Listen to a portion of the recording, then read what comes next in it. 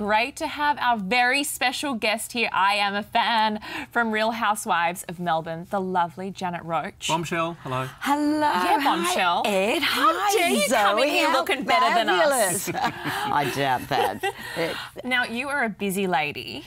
yes. Tell me how you balance it all. Look, I just think that all of life is about balance anyway, and I don't think that you can ever really get it right. I don't think that these people that say that they're like a supermum or something like that, I, I don't know that they'd be very happy. I don't think you get it right, and I think you just do the best that you can. Figure it out as you go. Uh, but yes, but it is all uh, sort of about balance. Some things you have to say, look, I can't do that. Um, you know, I'll do them next time. Or, yeah, it's just trying to keep a balance. But I don't know that anybody that's really, really, really busy, unless they're very uptight, actually gets it right. Good what, point. What do you guys Good think? point. No, I think you're onto the money there. Look, we're going to talk about your Raw Essential tea lines in just a sec. There's a really personal inspiration behind it, though, isn't there? Yes, uh, it's all sort of started when my son was in a fire when he was 22, and he spent about the next three years. He was burnt to 65%, nearly 70% of his body. That's Jake, yeah. Yeah, this is Jake.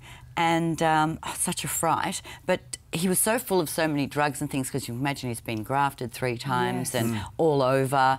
And while he was okay physically, sort of getting okay physically, just mentally he had no inspiration for life. He was just laying on the couch. I'm um, mad about organic food. I have an organic vegetable garden. I grow a lot of my own herbs, which isn't very housewifely, I know, but it's that that is my passion. And I tried to get him to drink some herb teas, herbal teas and things that I'd been mixing up. Finally, Yourself. yeah, it's actually my hobby. It's been my hobby for about 30 years. I'd grow my own herbs, impressed. dry them all on hangers in the in the shed, my poor children, and um, and make up different combinations of teas because I know a lot about what the herbs do. So I was making up tea for him. I finally convinced him to have it. He's going, Mum. I've taken so many like real drugs, Yeah. Yeah. like real What's drugs. this Do you do? really think that this is going to? And I said, I really do think that this is going to help you. Ultimately, it did. So Wow. I'm sort of trying to cut it a long story short. Then I said to him, look, if you could do anything in the world at, for as a job, what what would you like to do? Because now the things that he wanted to do were no longer available to him. Yes. And he said uh, we'd found some amazing. Uh, treatments for burns patients from around the world, and I think that he looks amazing for the amount of how burnt he is. Yeah. They were very expensive, and so he wanted to start a foundation. Incredible. I didn't want to start a foundation because I didn't want to do, or I know how much work all Yeah. of the fundraising is. Yeah. So he said, he sort of said, why don't you do the, your tea, mum, because you really love that, and we'll take proceeds from the tea and donate them to the foundation. No fundraising, and it's a win-win. He does Great. what he wants, and I do what I want. So, for both of us, what kind of tea would you suggest, especially for Ed? Mm-hmm. Anything in mind? For both of you, especially for Ed. Especially for Ed. can I tell you, we got a bronze medal. This is a winner, a bronze international medal for the aphrodisiac tea. Yes, you need that. Give it, give it over. That's it. It is. I'm telling you, we tested it on people.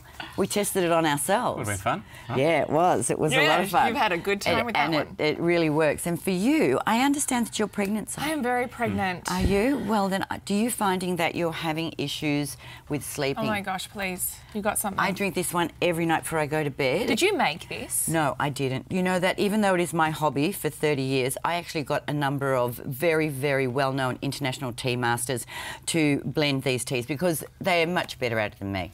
Beautiful. Right. So you're going to sleep, I'll be up all night by the sounds of things. But our hero, our Yes. winner, we got a gold international medal for Yes. our slim tea. Our slim tea is absolutely amazing. We get people This isn't writing like to the us. Skinny teas that make you do go to the toilet. This no, is so this has got no senna. That's why we won the gold medal. It um, warms you up with thermogenesis. It increases Whoa. your energy and it decreases your appetite. I might just take one of each. Is that okay? Yes. Great. is. And I'll-